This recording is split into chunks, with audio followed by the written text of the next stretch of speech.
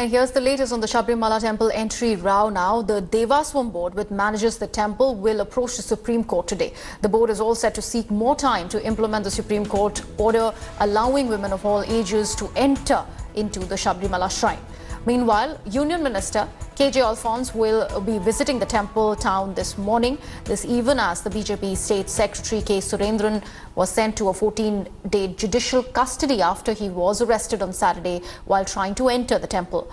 He has been charged with obstructing the police officers. Remember, Sabarimala is open for a 41-day pilgrimage period, but amid protests. No women between the ages of 10 and 50 have yet managed to enter the temple since the Supreme Court order allowing their entry.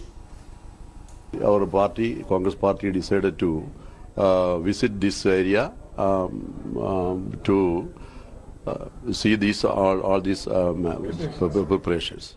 Thanks for watching the video. For more such news and updates, please like, share and subscribe to India Today. Also check out our other great videos from our channel. We know you would love to.